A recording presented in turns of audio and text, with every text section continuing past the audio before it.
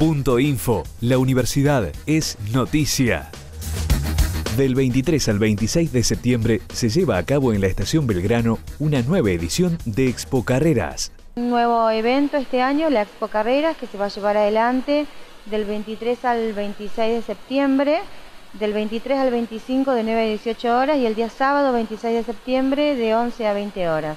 La entrada es libre y gratuita.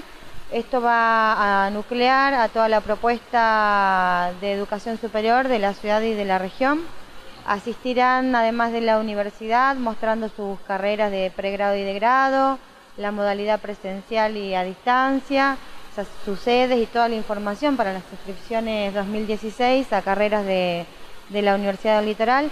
Asistirán también otras universidades de la ciudad y de la zona y también el eh, Ministerio de Educación de la provincia con la propuesta de educación superior, de educación terciaria y educación no formal. También se desarrollarán talleres de orientación organizados por la Dirección de Articulación de Niveles de la Universidad del Litoral durante el día miércoles, jueves, viernes y sábado también. Las escuelas secundaria y primaria de la UNL participaron de las primeras jornadas de integración en el predio UNLAT.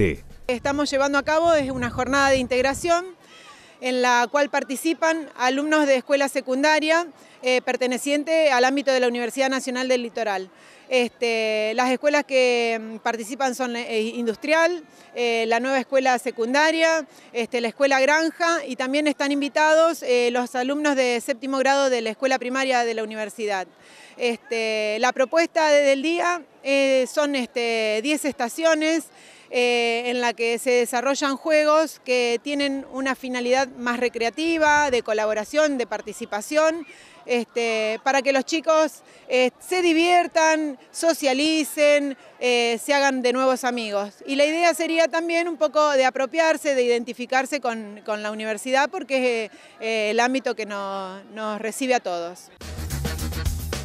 En el marco de un protocolo de emergencias, se realizará un simulacro de evacuación del edificio Goyán en la Facultad de Ingeniería Química. Vamos a simular una situación de emergencia, un incendio, una explosión, un escape de gases, cosa que nosotros tenemos como Facultad de Ingeniería Química que estar preparados.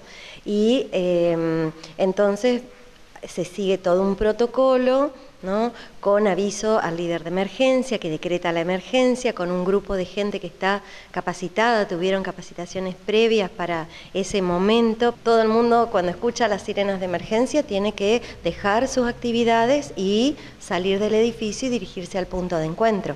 Así que es una manera, nos parece como muy importante porque eh, si bien no hemos tenido que... Este, sufrir situaciones eh, graves, que alguien salga herido, lo que estamos buscando es eso, es proteger a las personas, salvaguardar a las personas y que nadie salga lastimado y que los errores ocurren. Entonces un accidente ocurre en el hecho de el momento que ocurra, bueno, saber cómo actuar, saber cómo proceder, dónde son las salidas de emergencia, por dónde dirigirse. Más info en www.unl.edu.ar